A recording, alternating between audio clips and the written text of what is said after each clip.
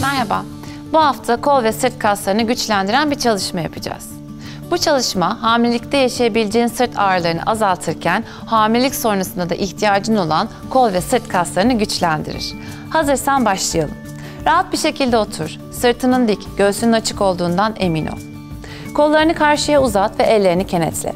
Derin bir nefes al ve avuç içlerini nefes verirken karşıya uzat. Tekrar derin bir nefes ve nefes verirken kollarını yukarı kaldır. Ve bu duruşta kalacağız.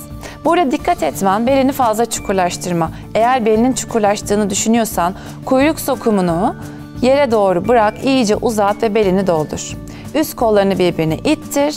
Birkaç nefes kal. Kollar aktif. Avuç içlerini iyice yayıp genişlet. Ve yavaşça çıkıyoruz. Derin bir nefes al ve nefes verirken kollarını yavaşça indir, ellerini çöz, bir omuzlarını rahatlat ve gevşe. Bu çalışmayı 3 nefes olarak tekrarlayabilirsin. Bir diğer çalışma için bir kemere ihtiyacın olabilir. Kemeri sağ omzuna koy. Ve şimdi tekrar önce sırtını kontrol et. Dik mi, göğsün açık mı, duruşunu fark et. Ve sağ kolunu yukarı doğru kaldır. Dirsekten büyük ve elini sırtına doğru uzat.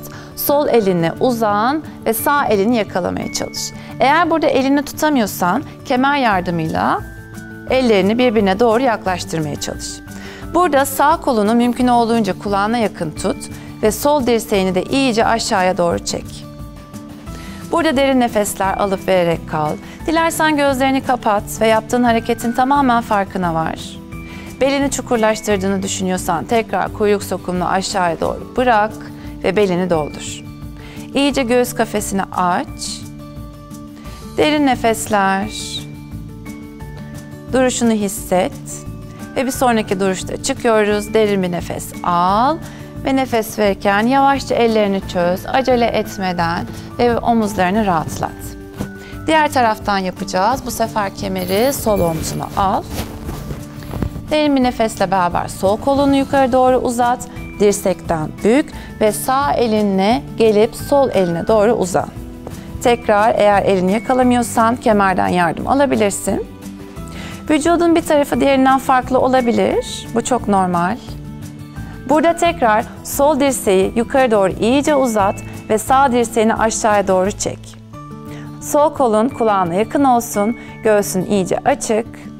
Derin nefesler al ver. Dilersen tekrar gözlerini kapat, kendini hareketin içinde hisset.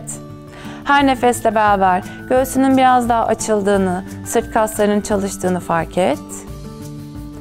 Ve bir sonraki nefeste çıkıyoruz. Derin bir nefes al ve nefes verirken acele etmeden yavaş hareketlerle kollarını çöz ve omuzlarını rahatlat. Bu çalışmayı da her iki taraftan üçer nefes olacak şekilde tekrar edebilirsin. Çalışma bittikten sonra sol yan üst yatarak dinlenmeyi unutma. Bir sonraki videoda görüşmek üzere.